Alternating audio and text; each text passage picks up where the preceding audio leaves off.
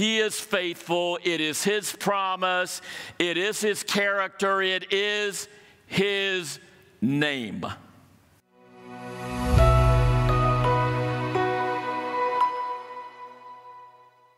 Let me just encourage the parents here for a minute, and even some of the single people. God had a plan for Isaac's family, and God had a plan for Isaac for, uh, for a wife. And um, she came on the scene. God led her to him. Um, and as, uh, as he was close to 40, that, that was fairly old, you know, back then for, for most people. I, uh, I want to just comment on this.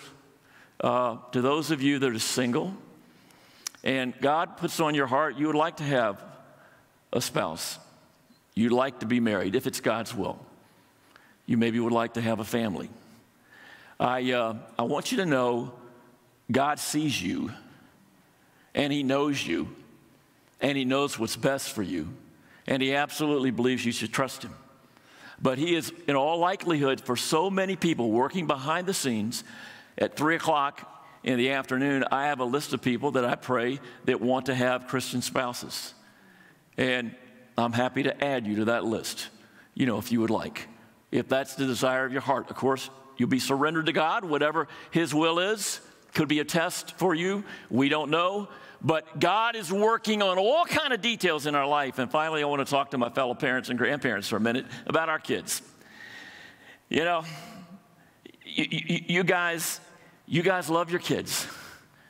You care about them. You don't know what this world is going to throw at them 10 years from now, 20 years from now, but you can trust your God to look after them. God sees you, He sees your children, He, he hears your prayers. Trust Him.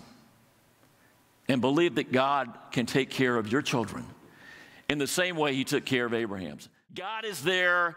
He's Jehovah Jireh who will provide. But listen very, very carefully, you know, on, on this. And even for those daily specific needs that we feel in our heart that maybe don't relate to salvation or forgiveness, l- listen carefully. God provides, God sees, God is with us. He is faithful. It is His promise. It is His character. It is His name.